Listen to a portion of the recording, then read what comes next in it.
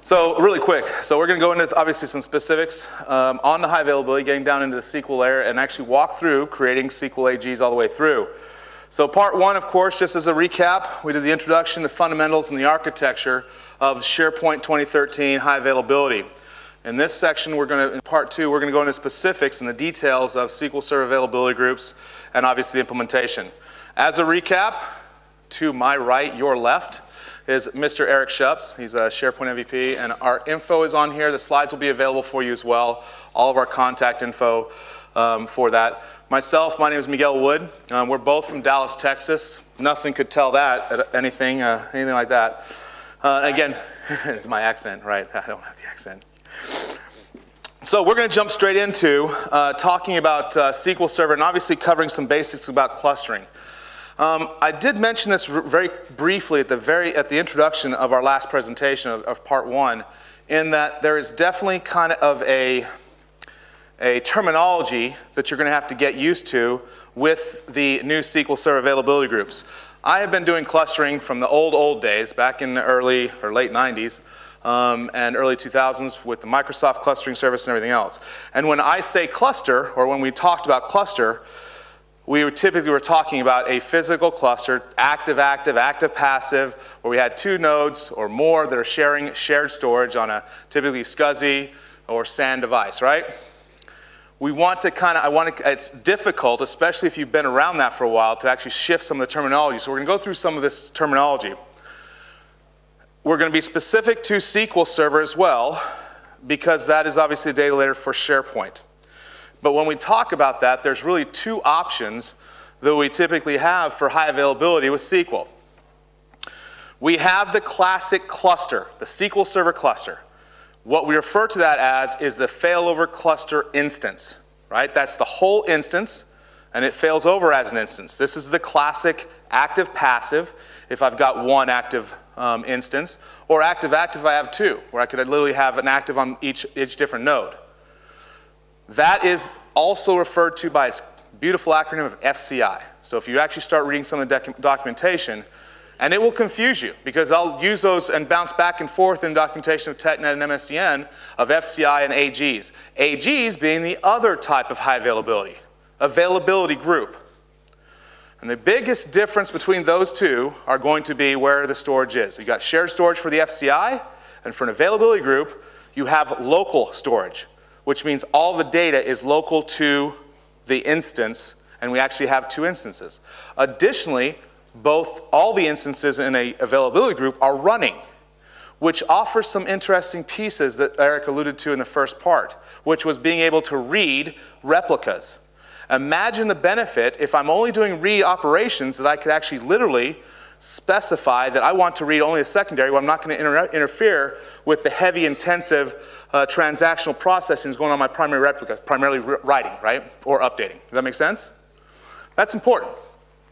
So let's go, go ahead and touch on a couple of these different terms. I'm going to come back over here and do it from here so you guys can see it, okay?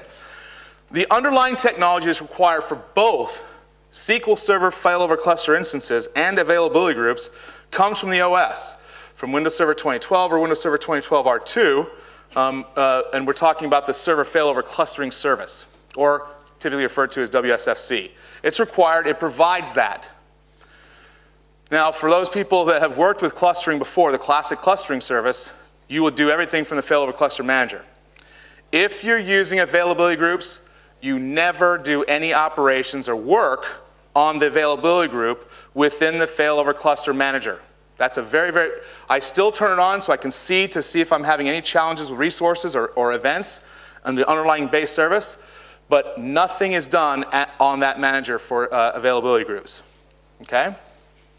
Remember the difference here that we talk about between the FCIs and availability groups is the FCIs are instance level and availability groups are all the way down to a single database level okay? Or a group of databases, one or more databases as a group. So you can't have, obviously, failovers of databases inside of an availability group going over to another one. It's a whole availability group to actually fail over. Does that make sense? So I do want to point out, you'll notice up here that we have different numbers of replicas that we can have. The primary replica is the one that we refer to as answering all um, full, fully executable, in other words, full transactions, including updates and writes. That's the primary replica. Why do I say that? Because I already told you the secondary replicas can actually be read uh, intent, meaning I, if I can, let's go ahead and read there, or read only, etc. However, we also talked about in section in part one about synchronous versus asynchronous um, um, fail, well, not failover, but synchronous async replication. and of course, everyone understands that from the synchronous perspective, we're talking about where we actually know that the, the data was written on the other one before it actually even writes back on the primary.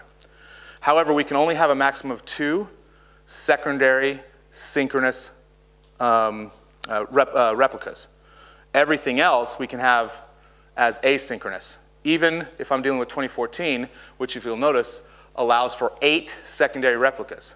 I can still only have three that are synchronous, including the primary. Does that make sense? Okay. Um, uh, what, this, uh, what this diagram also shows is kind of what we talked about at the very end of part one, where we said, you know, you could technically have. Yes, sir. Sorry, sorry. You talked about the eight replicas. Eight yes. Nodes? Eight secondary. Yes, eight nodes.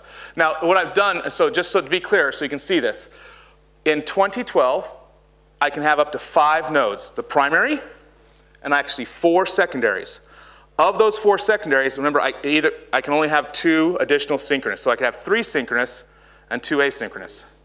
We can't, so you got to remember what happens when we do the synchronous is we're actually setting the transaction log over and waiting for the response that actually wrote over there before we actually write back on the primary. Okay?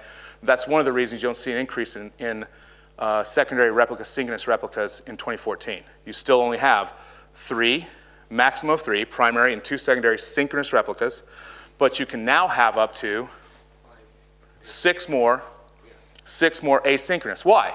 Asynchronous is different than the synchronous. It's not waiting back for, for the communication back from the uh, synchronous replica. It simply sends a transaction log and says, that's fine, great, good, and lets me know if I'm actually, uh, eventually I'll get the communication back. Now, think about what this means from a SharePoint perspective. What did we say earlier about, I had that table up about the service applications, what supported sync and what supported async, and I told you earlier, for all intents and purposes, synchronous is really your only option for full SharePoint supportability. So even though the documents say, and they're a little obtuse in their language on this, that you can have four or eight secondary replicas, that doesn't mean you can have one primary and then seven other places or, or eight other places to fail over over to for SharePoint. It means you can still only have one primary and two failover replicas because really SharePoint needs to be synchronous in your failover scenario, right? So these numbers are almost meaningless. We put them on the slide because it's confusing in the documentation if you haven't done this before. when you're architecting, plan for one primary and two secondary. And that's it for SharePoint because you're going to want them all to be synchronous. I know that's a blanket statement and it doesn't apply in all scenarios. There are cases where asynchronous um, may make sense for you, but for the most part in SharePoint, when you're designing, plan on one plus two. And, and, and there's a couple things I do want to point out to that. Remember, and I, and I, I don't think anyone in this audience is going to have that confusion, high availability and disaster recovery are two different things here. We're talking about high availability. In a disaster recovery situation, that's where your asynchronous could possibly come into play. I want to be very clear. Um, so do not confuse high availability with, uh, with the, with the um, disaster recovery. DR is not the same. Um, but I did want to point out, you'll notice that uh, we actually have multiple subnets. We're actually crossing subnets, possibly data centers, where we actually have a SQL Server failover cluster instance. Let's assume there's only one instance, so it's active, passive situation. There's still only one server that's actually active at that moment in time, but it's one of the nodes, a secondary replica. I do want to still call out, remember, if I am using and that node in a availability group is a failover cluster instance in SQL Server, it cannot have automatic turn, uh, failover turned on, as, as you pointed out before in the comment and question you had before. Does that make sense? A couple other things I just want to touch on.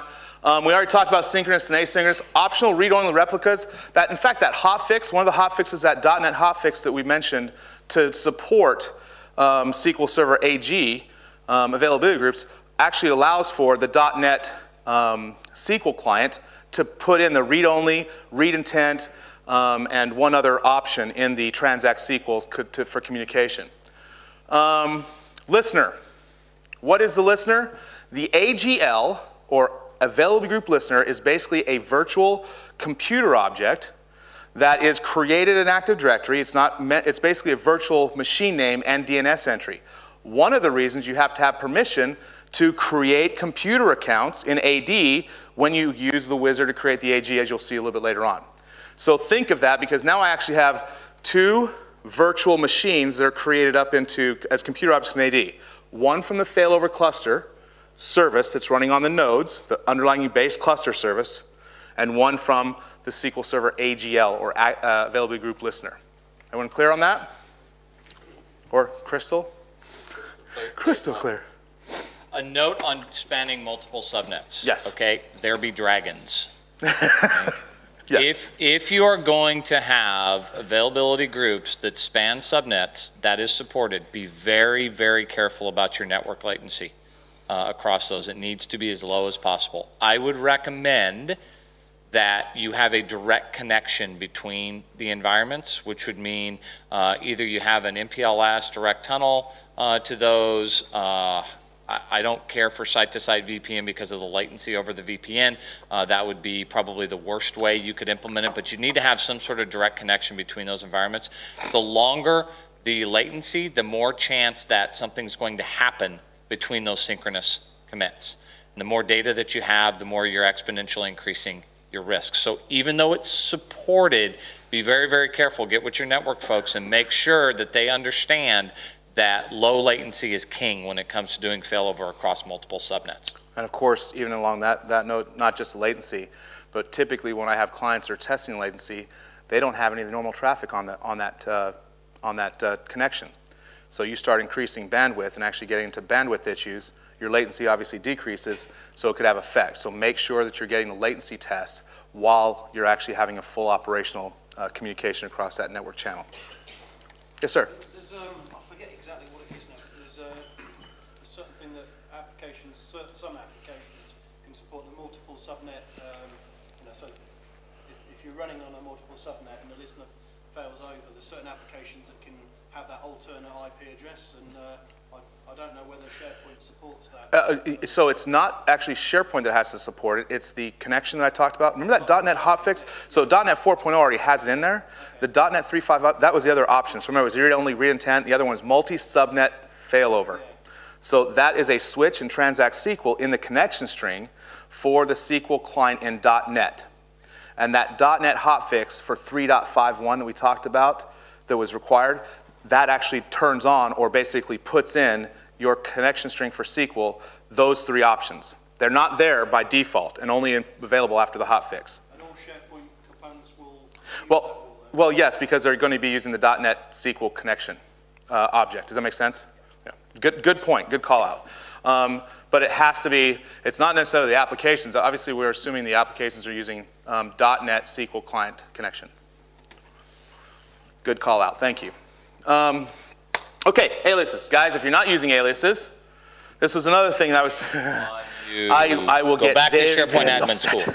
And, and even if you're only going to have one availability group, make sure you have multiple aliases. We'll talk about some of the optional things of actually making sure you have multiple availability groups in SharePoint, because remember, it's a group. So if you have one big, massive availability group for SharePoint with all your databases in it, guess what fails over?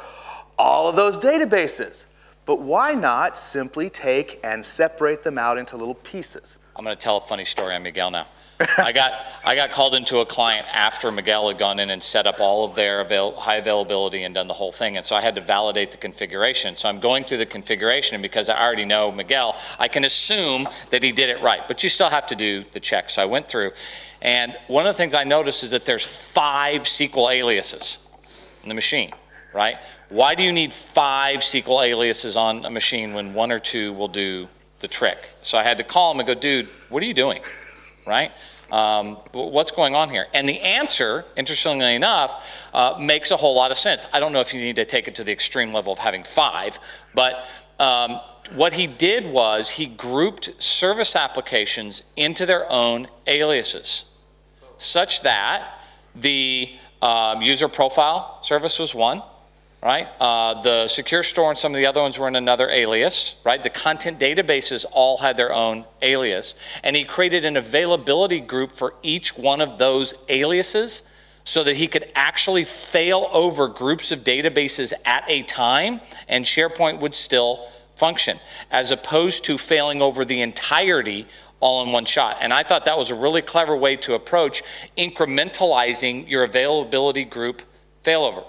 The odds that one of those is going to go down as opposed to others are probably slim. But if you're in a SAN environment like this customer was, he matched the LUNs that those databases were associated with to his availability group to his listener, right? Therefore, if we lose the LUN, we fail over that group of databases right, until the LUN comes back online, and then we fail them back. We don't have to do the whole SharePoint failover uh, instance, right? So I actually got schooled on that one. I thought it was calling him out for doing something silly, and I got schooled, and it was actually the right way to do it. And if you want to know more about that, we can answer some more questions later on how that works, but it's a really effective way to do granular failover.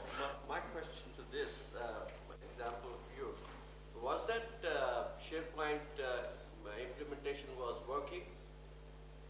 Did it work? Yes. Yes. So how, how come the five aliases talk to the config data? They don't. So the config database was one alias itself.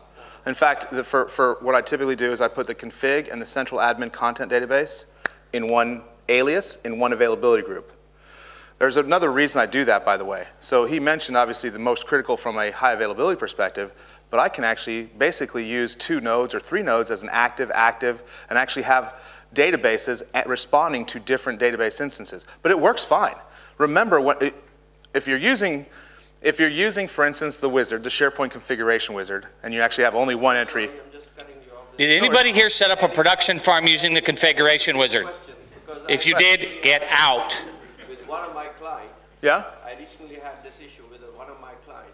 They are using Alias, Mm-hmm. and they install SharePoint with the instance. The UPA was not working. The what? User profile services was not working. Well, that doesn't. So we put, we put, we put on one alias, we Mm-hmm. put all the, all the deployment, all the installation and the configuration, and it start working.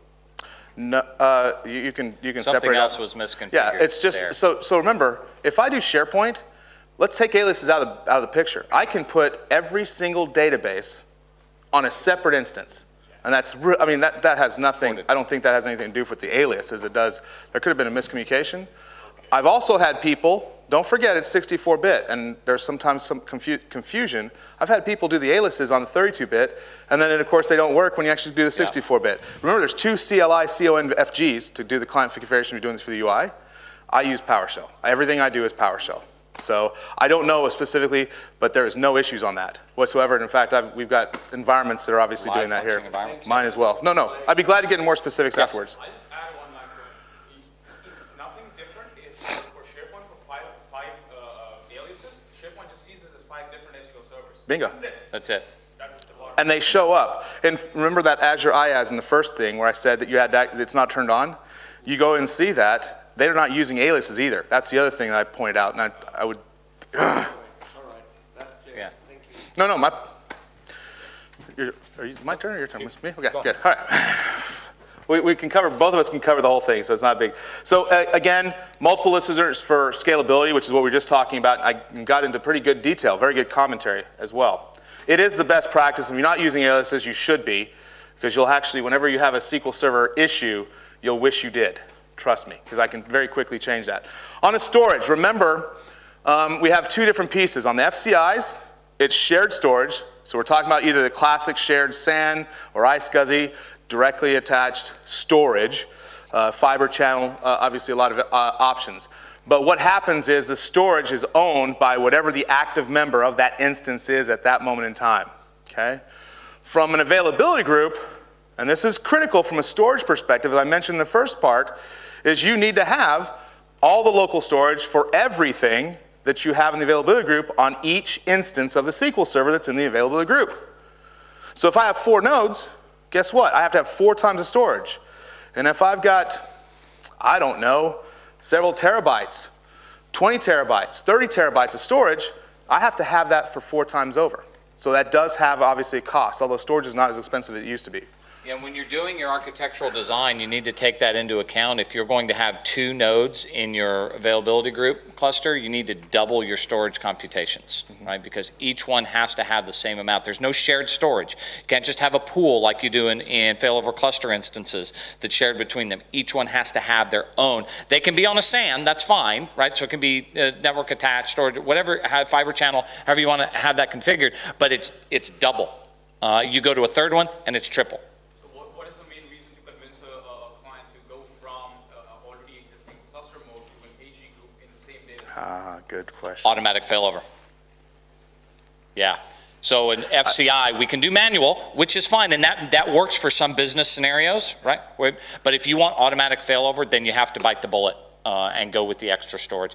Uh, Theoretically, storage is cheap. I know it's not that way in reality when we get into these big SAN systems and all that um, sort of stuff. But if they're willing to bite the bullet on high availability to begin with, then they got to be willing to write the check um, for the extra storage. And if they're not, then you need to back the whole conversation up and, and say, oh, should we really be going down? I, and I think money, and I mentioned that before, I have different conversations. From a CFO perspective, if I want to do FCI, don't forget, you have to now purchase the Windows Server hardware uh, ca- uh, compatibility list FCI hardware. With an availability group, I don't have to do that. I can even mix and match. I don't have to have matching servers. I don't have to have identical hardware, and I don't have to have the shared storage. A matching store, exactly. correct. Does that make sense? So, so when I, when you take a look at the difference, if you have to buy uh, cluster hardware versus just a normal server, it, th- that will shock you too. Remember, because it's an exorbitant, exorbitant amount, almost an order of magnitude more, to buy cluster-approved hardware from Windows for Windows Server. And I'm talking about the FCI piece, not availability group. So that's another reason that I typically talk. Again, requirements drive everything. Um, one more thing I want to mention on the on the uh, quorums. We've been hitting on the file share quorum. Remember, the only reason we're typically talking about the file share is we've been only talking about two nodes.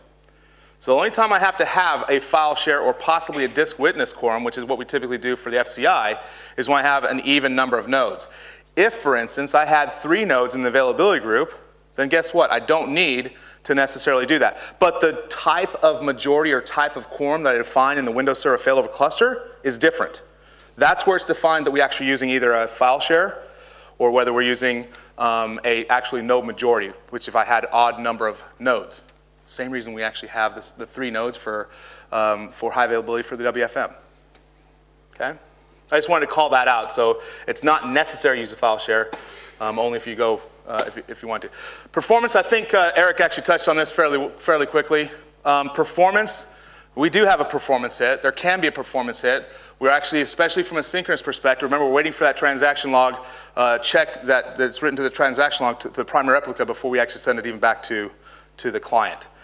You to mention? Yeah, let me talk about that for a moment because I've had several debates with customers now about if we're failing over to a secondary instance, do we have to have it match our production environment? Do we need to spend all that money to have it exactly match what we have in production? The answer is no, you don't. You just have to have minimal capability to run the workloads that you have defined, right? So one of the, uh, we deal with this in Texas all the time as, as uh, Miguel mentioned, and in Louisiana as well, we have to worry about hurricanes. So we have to have inland data centers as opposed to coastal data centers, right? Uh, and so the, the drive is to always minimize the cost of those additional DR um, environments, and they have to be HA. They have to be able to fail over to these things immediately because sometimes you have very little warning that you have an impending uh, event.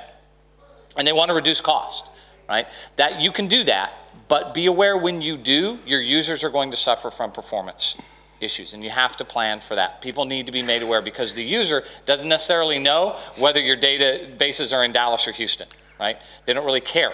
All they know is something happened and now everything is slow, right? So if you're going to cut corners, right, on your DR environment, okay, be aware at some point it's going to come back, right? And they're going to be saying it's your fault the last thing that I think a customer wants in the middle of dealing with a disaster situation is have the help desk going nuts because everything says SharePoint is too slow.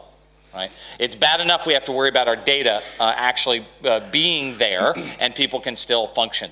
So what I try to tell folks is it's a lot easier to have the conversation up front and just say, yes, we have to match our environment from, from primary to secondary rather than come back later and say now we need to justify additional costs because we didn't when we did the failover it didn't perform as well because by then you've already got egg on your face. But if you're in that discussion with the customer and they say, well, well, do we have to have it that way? No, you don't have to have it that way, but we highly recommend that you do have a matching environment so that you don't suffer from performance issues.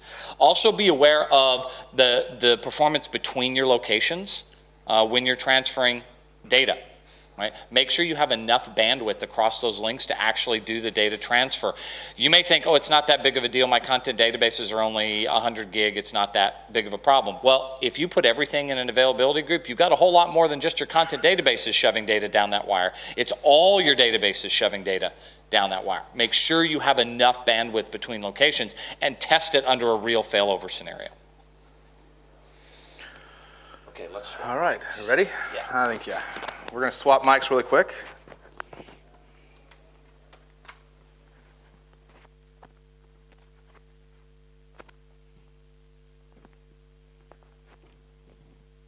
Okay, so in this demonstration, we are going to build a cluster from the ground up. Same scenario as I showed you in the previous uh, demo. Can you, can you switch me over?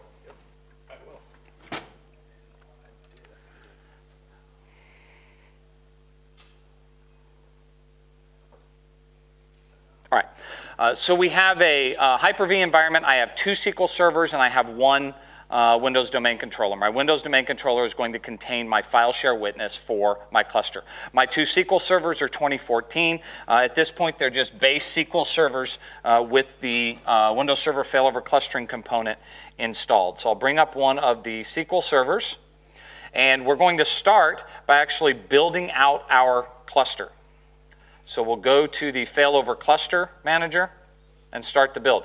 Before you do this, before you start building your cluster, uh, right after you've installed the .NET 3.5 components on the machine, go back and install the KB article that was on the previous slide. Otherwise, partway through this, you got something that doesn't work. Yes, Christian. Uh, enterprise.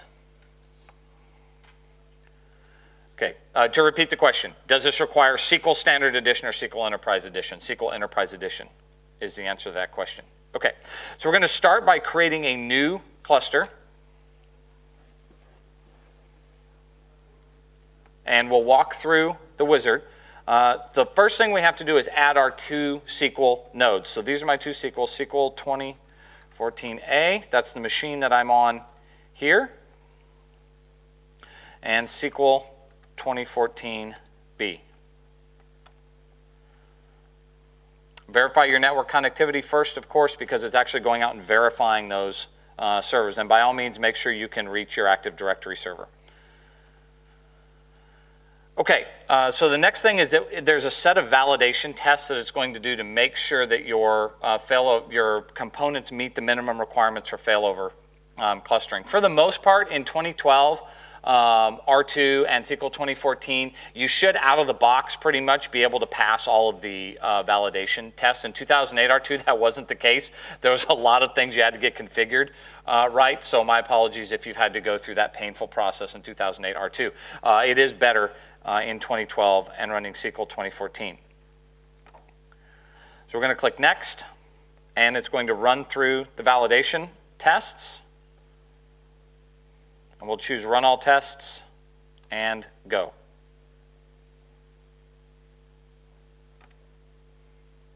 All right, and it's going to go through and check our disk. And you, you may get some uh, errors and issues in this report. Most of them are inconsequential to actually getting the cluster running. We'll take a look. Let's see if it flagged any is red. Uh, so disk access latency, SCSI device. I'm running on uh, Hyper-V virtual guest, so it's obviously going to throw some issues uh, about my disk. We'll let that finish running through. While that's going, while that's going, there's one more thing I want to point out. Every time that you run this validation test and you're doing it for only availability groups, remember this is the Windows Server failover cluster service. So one of the things it's going to throw warnings for every time, unless you have shared disks, typically for an FCI, is going to throw warnings. I don't see any shared shared disks that are actually seen from both nodes. Does that make sense? Remember, with when we're doing availability groups, it's only local storage. And since we're doing only local storage, this validation check to see if the failover cluster service is going to run well on both nodes is going to fail. Not fail, but throw a whole bunch of warnings. Does that make sense? Because we're not using, we're not doing a clustering service, we're actually doing AG, so there's no need for shared disks. But in a typical FCI, you're going to obviously want to have that. So we're almost done um, here. As soon as it uh, finishes running through these tests, we can move on to the next um, stage of actually generating uh, the cluster. Uh, this will go faster or slower depending on your network configuration and the latency you have uh, between the machines. Uh, for whatever reason, this validating network communication always takes forever. I have no idea why. No matter how big the machines or, or how fast they are, it just always seems to take forever, right? Uh, so even though, there we go. Even though I had a few uh, warning items on there, the test has completed successfully. I have the minimum capability here to run uh, a cluster. And you can browse through here and see what the warnings are that it that it puts forward. The important part is that it says you have completed successfully so that we can then move on to the creation of the cluster. So I'm going to give it a cluster name. I'm not very creative, so we're going to call it SP cluster. Right? Uh, and we are going to give our cluster, if I can get it to come up here, a network IP address. And we're going to choose next.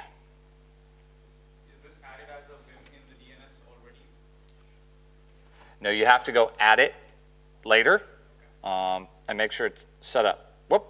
Aha. Well, it already found a computer account uh, for me for SP cluster. So, so to your point, it actually, remember I said there was two times it creates a computer object? One thing that we should be clear on, obviously he's a local admin, but he's, you're also using a domain admin account yeah. that has permission to create a computer object in AD. Remember, it's simply a computer object, but doesn't reference a true computer. It's like the virtual IP or virtual no, uh, uh, computer name that we had back in the old cluster server piece. But yes. yes. I'm just, I've already run through this, so there's an already an object in my domain. So I'm just, gonna, rather than go delete that object out of AD, I'm just going to give it a different name for the cluster. So we'll call that cluster 2. All right, and it'll go and create the object. If the user account that you're using doesn't have permission to create objects, then you've got a problem here because it's going to try and do it uh, automatically. So make sure you're running under account uh, that has those permissions. Or um, uh, make sure that they've already created um, a service account that you can use, for example, um, to do this. The validation check will see if you have permission, but it'll only throw a warning if you don't, because you could technically go ahead and pre-create a computer object that's going to be used when you actually do that. Okay. Now, for those of you who've set up clusters before, this is a dangerous tick box down here at the bottom. It says add all eligible storage to the cluster because it'll actually add local storage on your machines to the cluster. Do not panic. This is for availability groups only, okay? We check this box here because we're running a file share witness. We don't have to worry about our local um, storage cluster uh, configuration. In fact, we're not even going to go into the cluster manager and set up our local storage resources because we don't need them. Okay, so I know that some of you probably just went, whoa, what is that? Uh, go ahead and check that box and continue on, even though it, uh, every fiber view says, don't do that. So we'll let it create the cluster, and it's actually going to come up when we're done with uh, creating the cluster. It's actually going to give us a warning about the fact that we have no quorum disk. And here it is. No appropriate disk could be found for the quorum disk, right? What's going to happen when you try and add all local storage during the cluster configuration process, right? Saying, I have no, there's no shared storage, I have no idea what you're doing. That's okay, we don't really care. So you can ignore that and carry on. Okay, so now we have the failover cluster uh, manager uh, in place, okay? If, now there's really not much more for us to do from the failover cluster manager. From this point forward, it's going to be our availability groups uh, that get uh, set up. One thing we do, however, need to do is make sure we have some correct Active Directory permissions for adding some of the things that are going to happen during the AG, like creating the AG listener. Right? Uh, so let's switch over to our Active Directory machine. Oops.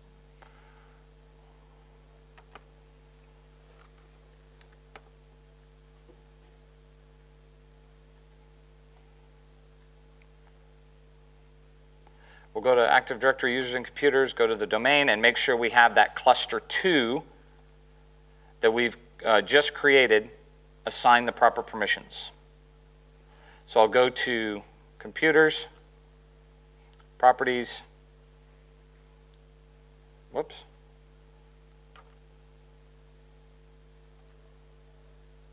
All right, if I could click on the right thing, it might help. There we go. Why am I not getting to the right object? Oh, I didn't turn on advanced, duh. There we are.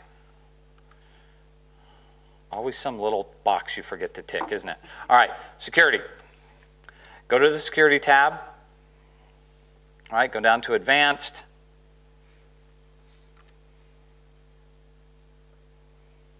Go to add. Right, uh, and we need to give the uh, object SP cluster 2 was the one we just created. Uh-oh. Try that again. SP. Isn't that what I named it? Yeah, but do you have computers as, as its option? Oh. Well, that would help, wouldn't it? If I tick that box there. Yay. Okay. Um, so we need to make sure that we have uh, read all and create. Where's create in the list? Create computer objects. If you can find it in this silly list create, there it is, create computer objects. All right. There we are. Now we're good. Okay. Now we've given that uh, cluster object sufficient permissions in Active Directory that we can carry on uh, with um, configuring our quorum. So let's come back to SQL. There we are. Okay. And from our uh, failover uh, cluster or the failover cluster manager, right? We'll come in here and we'll do um, more actions, configure cluster quorum settings. Okay? And this is where we're going to set up our file share witness. Okay? Uh, so in this case, we're going to do select a quorum witness. Next, configure a file share witness. Next, and we're going to give it a file share path. So in this case, it's my domain control dash DC slash cluster demo. Choose next, and it'll create the file share witness for us, and it's done. Okay. All right. Uh, so now we have our cluster set up, and we have our witness set up. That's all the availability groups needs. None of that other stuff around setting up all of our network stuff and our storage and failover cluster not required. All right? Okay, so from, make sure that we first have availability groups turned on even though the feature is there. All right, let me rephrase that. Hopefully when the DBA installed SQL, they checked the little box for always on availability groups because if they didn't, you're gonna have to go back through the SQL installer and run it again to add that feature. Okay, so make sure that, that was there in the first place. Otherwise, this next step is not going to exist at all. SQL server, that's not even how it's typed in French. SQL server configuration manager, there it is. Have I told you that I hate Windows 8? Have I mentioned that? Conf Yeah, and then you click on the wrong one, like I just did. Oh, there we go. All right, so to the configuration uh, manager, uh, to the SQL Server services, SQL Server here. This is my instance, which is SharePoint uh, on this particular box. Okay, to the properties, and to always on high availability. Make sure that is checked for SQL Cluster 2, which should already be entered from setting up the failover cluster. We'll see that for you automatically, and you have to turn it on. Okay? And then you have to start and stop SQL. So services, boy, this machine is fast. Okay, SQL. I said SQL, there we are. SharePoint, let's restart that. And while that's doing its thing, we're going to come over to the other SQL server, and we're going to do the exact same thing.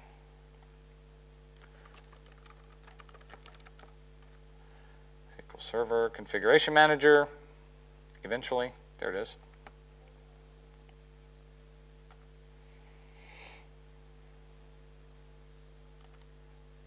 To your SharePoint instance, and turn on always on high availability. Done. And services. Otherwise, it won't be able to see this as a secondary replica when you set up the availability groups on the primary.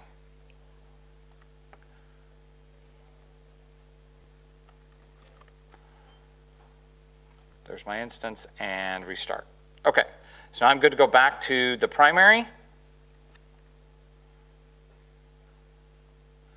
Okay, now you need to know, there's something you need to know about this particular configuration. This is not strictly required, but highly, highly recommended. Before you go any further, go into SQL Management Studio on each of your machines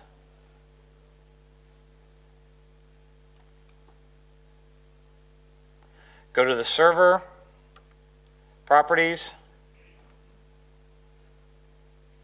advanced, come all the way down here at the bottom, and set your max degree of parallelism, right? Two, somebody in the crowd already knows, one, okay? It should be done, well, yes, but if your SQL is used for other things besides SharePoint, then there may be a reason for not having that set, okay? My recommendation, always set that. In fact, it's not just mine. Microsoft also tells you to do that. Yes. So if, if the servers are in a mixed uh, environment, obviously, um, I don't know, data warehousing environments, for instance, would, you would want to do that. So uh, would the alternative be resource governance constraint uh, for those SharePoint loads, the single processor? For the individual instances on that shared environment? Would that work? You, you can do, yeah, so let's assume you have multiple instances on one server. Yeah, yes, that would work, but be careful because you still have to have the minimum number of resources that you would have to have to run SharePoint SQL, right? Which is four cores, 16 gigs, right? So you can actually have the resource governor and actually limit it, but make sure that you've done the capacity planning for what you absolutely need, right? It's a good point. It is possible, and, and there are a lot of environments where, especially when they have massive database uh, uh, environments, platforms. Okay, so I'm just going to create a test database. Here, we'll just call it test DB. Okay, nothing fancy. With this one, it's just to test out our availability group. So now I have a test database. And the first thing that I have to do is I actually have to perform a full backup of this database. Otherwise, it will throw an error to me uh, when I try and add it to an availability group. Okay? So I back that database up. Now I can create a new availability group. So I'll come down here to my availability groups, choose new availability group wizard. And if I can get it to show me all the buttons, there we go. Okay, uh, we'll give it a name. Let's call this AG SharePoint, even though it's my little test database. Choose next. Okay, and it'll it'll check and make sure that the prerequisites. The prerequisites are you backed it up. That's the prerequisite. Okay. You want to answer that? So the reason you have to do the backup is two reasons. When we actually create the uh, secondary replica, we actually pass the backup and it restores it, and then actually uses transactions logs to catch it up. Uh, one more thing, you can obviously use a file share, which is going to be through the wizard. Typically, we actually just push it back up to a file share that can be accessed. But you could technically, if it was a massive database and it was a, uh, you wanted to offload it and then take it over and actually put it up there, you'd actually literally do the backup, restore, without obviously restoring, without starting the service, and then that obviously gets that uh, transaction log caught up uh, very quickly. Does that make sense? Okay. All right, so the next thing that we have to do is we have to add our secondary uh, replica here. So I'm going to add my replica, and that will be my other SQL instance.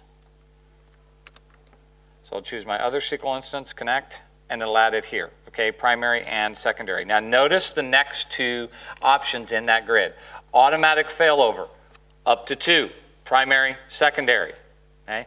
Synchronous commit, up to three, primary plus two. We talked about that earlier, right? This is your maximum of three that you can have for, um, for your synchronous commit. Okay? And then whether you're setting it to um, readable, no, yes, or read intent only. Okay? So setting it to no, which is a bit of a backwards way to do it, means read write. Okay? Um, whereas if you say yes, it means read only. Okay? Or read intent only is the last option. Uh, so there's our my primary and my secondary with my failover and my synchronous commit uh, set up. The next thing I need to do is I need to create my availability group listener. So we're going to give it a name, SPAG and it's going to give me an error if I use the one that was there before, so I'll give it uh, another one, okay? Now, this is a weird dialog because the button that I want is actually hidden down here, right? So I have to, if I come here, I can go tab, add. You didn't actually see me click the button. It's just my screen resolution. There's an add and remove button hiding down below that, right? You all knew that, right? You all knew it was there. Okay. Um, so I click that magic and mystery. Uh, and I'm going to give it a IP address. So I gave the cluster an IP address of 120, okay? Uh, so in my very creative numbering scheme, I'm going to make this one 121. Obviously very scalable. Uh, and that's going to add the IP address for my AG listener. The AG listener is what you're going to point your SQL alias to.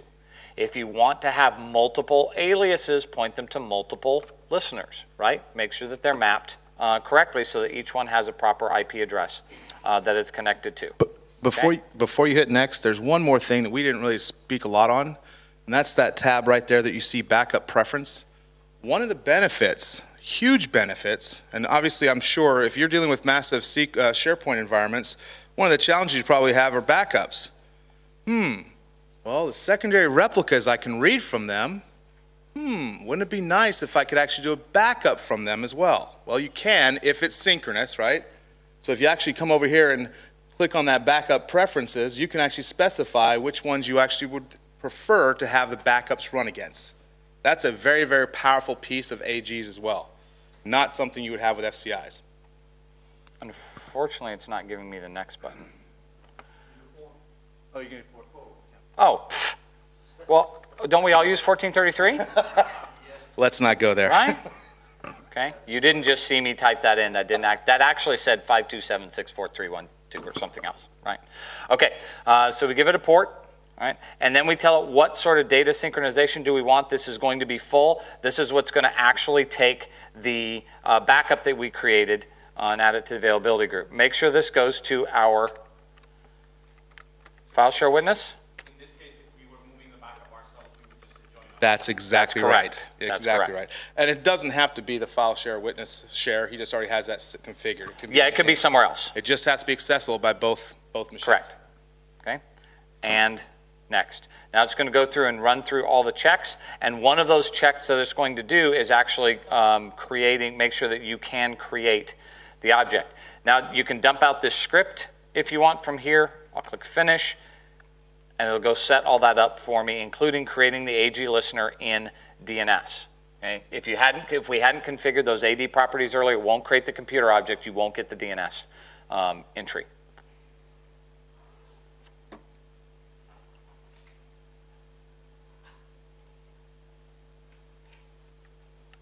And momentarily, it should work.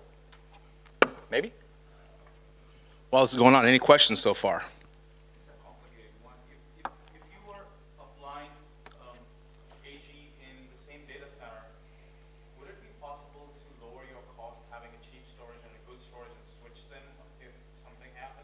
Yes. Yes. So there's, there's, it gets, so again, there's going to be performance implications, of course, and possibly management as you switch them, right? Management issues as well. But yes, that's possible as well. I will tell you, I don't deal with that as much as I initially did because the cost of storage now, um, even in data centers, with what we can do, even at an SSD level now, is ridiculously low. Now, that's not saying that everyone has obviously the SANs of SSD SANs, right? That's still, that's still happening. But you are correct, that is possible. And again, business requirements, cost requirements, right? Always map back to that. If um, one of these fails, it's usually going to be this one here, creating the availability group listener um, uh, in Active Directory.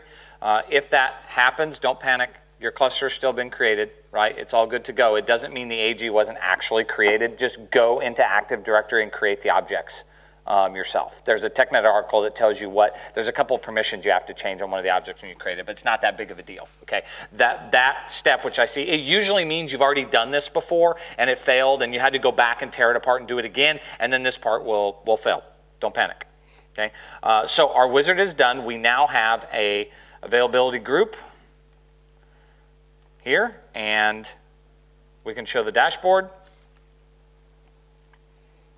and it'll show that our primary and our secondary are up and running. Now, at the moment, we haven't added any databases to this, so let's add a database.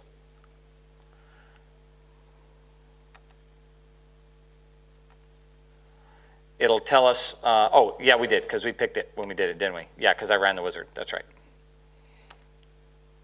Okay, cancel. Go away. There we go. Okay, so from here, remember we said earlier, you're not going to use the failover cluster manager to do any of your failovers, okay? You're done with that guy. Don't mess with him anymore. You're going to do it from here. So if I want to test the failover of this cluster, I can click this link here to start the failover wizard, and it'll run through a failover scenario for us and switch us to the secondary. Okay, it'll say what the secondary is, what my readiness is. Click next, connect, and go. And that will do a failover to my secondary instance, and you'll see in the dashboard uh, that'll show that what was the primary 2014A is now going to become the secondary, which is pretty much just like it looked when we did the SharePoint failover and I turned one of them off. So yes, everything is good. Okay. Uh, now it shows what is my, well, it will when I refresh.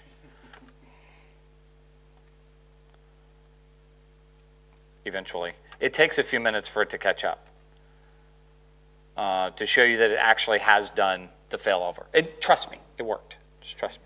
Okay. Uh, and so you can play with that to make sure it's working. Now, I've only got one database in here um, so far. And if I want to fail it back to uh, the original primary, I can fail it back from here. When you're installing SharePoint, okay, pay attention to the order of operations that you're doing. Do all of this right? And then basically ignore it while you're setting up SharePoint. The best results you'll have for configuring a SharePoint environment when you've set up always on availability groups is on the initial configuration, point your SQL alias to your primary SQL server name, not the AG listener. Run your deployment for SharePoint and your configuration. So do the install, create your content databases, create your user profile service, create everything that generates a database first, pointing to the primary machine. Why? Because if you go and create those databases and then you add them to the availability group, and, and for example, user profile, if you then have to delete that database and recreate the database, you are going to run into contention issues. At some point, you're going to delete the database, but the availability wizard thinks it's supposed to be failing it over, and it'll flip to your secondary replica, right? So you can't actually delete the database. It gets all out of whack. So during the installation and configuration process, get SharePoint completely set up and configured the way you want it, and then go add all of your databases to the availability group once you're done. Then once you do that, then they'll start synchronizing on the back end and you'll know that it's in a decent state. Let if you have to go make changes, for example, if you have to reconfigure user profile service, I know it always works the first time, but just in case, um, go and remove that database from the availability group first, then delete it, rerun the configuration, and add it back into uh, the uh, availability group. You remember those SQL aliases we were talking about? So when he says point it to that primary replica, SQL alias points to primary replica because all you have to do then is simply change that alias to the AGL and you're done, right? Whatever that AGL is going to be. Yeah, and let me actually show, so if you haven't done this um, quite this way before, let me, come on. Hurry up already. CLI, thank you. So if you haven't done this before, when you create the um, SQL alias, yes, I'm the administrator. Get out of my life. Okay. Um, when you create the alias here, so let's say my alias is SP SQL. When you're doing the install, point it to SQL 2014. A, well, you're not using name pipes in any event. Uh, unless you're doing access services, in which case you have to have name pipes turned on in order for that to work. So this would be my install configuration, okay? Then when I'm done doing the install and adding my availability groups, I go back to the SQL alias on every one of my SharePoint machines and I change it to uh, whatever I called my listener. That, okay? And now you're pointing to that AG listener right, which should already have its DNS entry so that it starts reading the databases that are in the availability group. Don't forget to do that step once you're done. Go back and change the um, alias on each one. We usually do it with just a set of PowerShell scripts uh, to run through and make that uh, If change. you do it via the client. If you do do it via the client configuration tool, the UI right here, don't forget there's two of those things installed. One's for 32-bit and one's for 64-bit. And the WoW 64 is a 32-bit, just so we very very clear. Just to make it very confusing. yeah. Okay, any questions on setting up, basic setting up of availability groups? Everybody's good? All right, Miguel, back to you. Yes, we have about three minutes Oh. until uh, until we're done. I thought we had extra time. No, we remember they they went back. Ah, just keep going. I, want to make sure that we actually answer any questions or any specific questions with the with the time. I know that we started right at 11 at uh, 11:15. We're supposed to end at 12:15. But I want to make sure you have any, if any questions, and again, it doesn't have to be specific to the SQL AG. It could be anything about the high availability. Um, and again, don't forget, Erica will be available. I was going to go into a little bit of the Azure IaaS, the HA. The only thing I would do if you were in the previous session is remember, it does not set up. There's some things that are not there in the HA piece that are caveats, issues. They are continually updating that template. Um, and remember that template is actually multiple there. They had the standard SharePoint 2013 on IaaS, as well as a standard HA one in IaaS as well. So uh, the HA one is, it just has obviously some issues you will have to deal with as far as management tools. And the AGL, very like, like Eric did, it only points, initially, the SharePoint is still only pointing to the primary node. It's equal one there in that, in that piece. Yes, sir. Once they're out of sync, um, the test that you just did, is that the way to actually test it in a production environment? Or how would you go back if you're doing an actual So you- or a, or a, or a Good point. So you- you'll notice the two things I want to point on that. One is we were doing a manual failover is a full-blown test. Uh, you know, the, the one that we did with the SharePoint where we literally turned off the machine, that's not necessarily a, a good test to do, of course. But the manual failover is a test. Sure it is, it worked. That, and it's supposed to, right? But I'm not sure that I would probably do that with production environment. By the way, typically, just for a timing perspective, it's typically now 21 seconds based on a standard SharePoint, uh, SharePoint installation for that failover to actually occur, automatic failover, with the minimum required resources on the, on the SQL and SharePoint layers. There's two other things I want to point out to your point. On the automatic failovers, remember when we were setting up the wizard, and I don't typically do it with wizard, I now do it all via PowerShell, is there was two, the number was only set for two. So again, that's two failovers. If I actually have two automatic failovers, it's going to stop. And you got to be careful about that, of course. I'd probably put a notification in and actually have the, the, a SQL notification come out through email or something like that. From a, So to answer your question about testing, just real quick, it, you can see now it's finally showing in the dashboard that it failed over to 2014B, so that's my test to show that it's working. If I run it again, it'll fail it back to the original, right? So it doesn't actually tell you that, uh, but from a test scenario, just run through the exact same uh, failover again, and it'll bring you right back to your original state from the test. happening on the back end if there's a data change in the environment. Uh, so good change. Is a good question. So remember, it's synchronized. It will not do a failover to a synchronous replica unless it's synchronized. So, and, and, and this is going to get really low. Remember what happens. I'm actually SharePoint. I talk to, I send SQL a transaction, and that transaction doesn't get written yet. It gets written to the log, but shipped, but it's not committed until what? Until it comes back from the synchronous replica, and then it's written to the primary. So it's always going to be, that's why synchronous is so powerful, but it does have, and why the latency has to be so short and so small, is because we have to wait for that transaction to commit on the secondary replica before I'll commit it on the primary. Now, that's asynchronous, yes, But remember, the second we go to asynchronous, as Eric pointed out before, we now have an RPO perspective, where we actually have possible data loss. When you're doing a synchronous failover, when he did the wizard, for instance, we'll actually say, there's no data loss here because we're synchronized. Although if you were paying attention and you were watching the screen up here, it actually just came up with a red X and said data loss. Ignore that. Okay, don't, don't panic, don't panic, don't panic. Now, Is it, uh, at that point, when it first flips over, it's not synchronized? Yeah, it's just saying that my, my secondary no longer has a synchronized copy because it's in the process of failing back over. Relax, give it a minute, right? It'll come back, right? If you're doing a bunch of databases, hold tight because it may take some, some time. There's We one other question back over here. I'm, Is it additional you need to configure? Anything additional you have to configure for multi-subnet failover? Yes, there is. Um, well, one, obviously, depending on what .NET version you're using, we already talked about that. The .NET that's, that uh, hotfix is actually a .NET hotfix to allow for the it's a, there's a transact SQL. It makes it available when you're dealing with .NET. There's a multi-subnet failover flag that I can put in a connection string. If it's not in that connection string, when it goes to SQL 2012 or 2014, then it's not going to have the ability to do a multi-subnet fa- failover. I've seen in, uh, if you look in the registry, Yes. Well, now we're going to get fun because I love get. So what happens? This is very, very important. In the case that I'm actually rebuilding an AGL or a multi-subnet, so the registry entries for SQL Server availability groups actually go under the Windows Server failover cluster. What does that mean?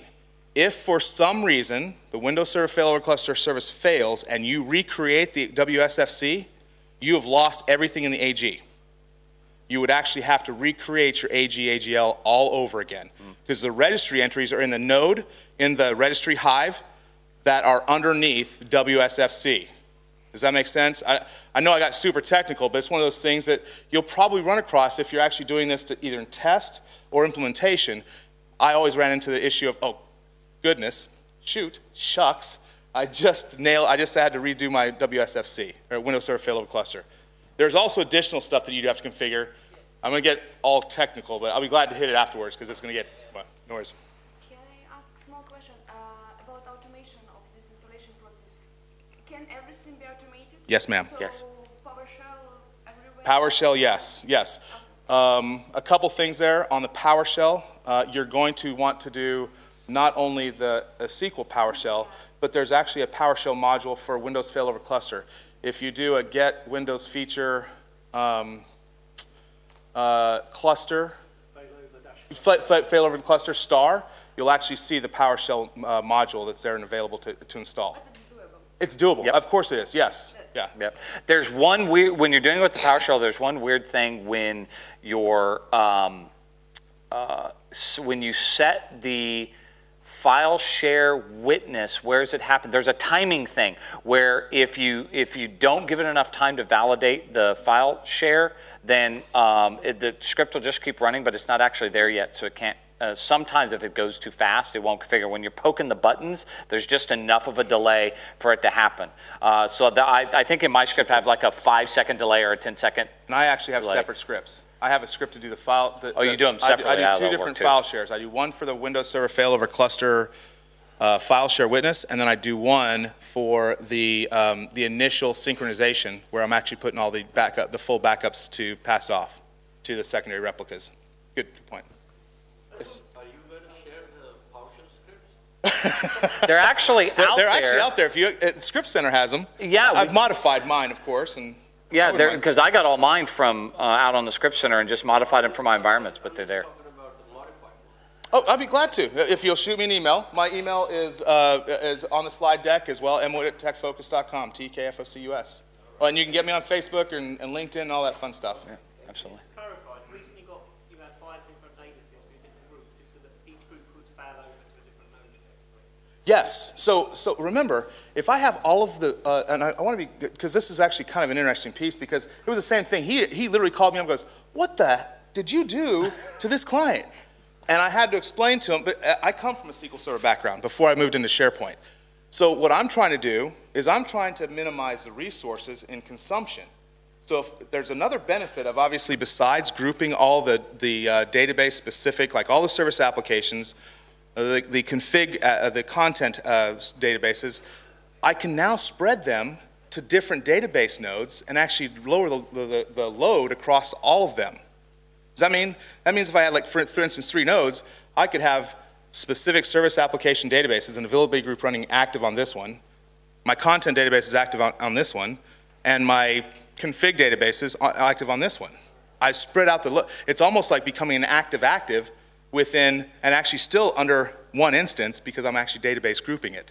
There's, so there's other benefits to multiple AGs with, of course, aliases, because if you don't have the multiple aliases, then you're, you're That's right back gonna at the same piece. So that would help us uh, go away with that uh, initial uh, synchronization limitation for two. That's correct. Yes, that's correct. That's correct. It's a way to work around it. That- That's the biggest benefit. No, uh, there's, there's a bunch of benefits to it. Like I said, and, and honestly, after that, that's when he actually pinged me and said, hey, can we do a presentation about high availability? Yeah, that's so how I've started using that now as my best practice when I set up to have the multiple listeners like that. Yes, sir. Um, have you had any experience or um, do, have you any advice about deploying the entire SharePoint farm to uh, Hyper-V cluster um, and also the use of scalable shared file server? Yeah, so, uh, so first off, on the Hyper-V, Hyper-V cluster, uh, what kind of advice are you looking at? I have done that. Um, remember now we're actually dealing with not only virtual, um, the actual virtual instances, the guest OSs, but now we're also talking about shared storage for the, for the Hyper-V. And remember, when we're talking about high availability, um, at that point, we're talking about the high availability of the Hyper-V and not necessarily of the individual virtual. So I, I got to be careful on that. One of the reasons I actually have that diagram and I even put the physical hosts up there is because I have clients say, yep, we're highly available, and they have all of their virtual servers, their, their guests, on one hardware, one piece of hardware. And so I go, so what happens if I pull this plug over here? That's not highly available, buddy. Sorry, not going to work. Does that make sense? And if you want specifics on the Hyper-V cluster, and the second piece, I didn't hear the second piece, by the way. The scalable shared file. Oh, goodness. Okay, so we may actually talk after, because there's obviously some cool stuff on that. Um, that Can I throw in a very final point? Yes. Because I'm not, I've asked Microsoft this before. Um, Azure doesn't support uh, Generation 2 VMs at the moment, and uh, so basically failing over from Hyper-V to Azure is not possible. Yeah, there's um, so I'm gonna point, I'm gonna, I'm gonna reference one, someone else that actually gonna have a uh, who is doing the site recovery? Was that Kirk?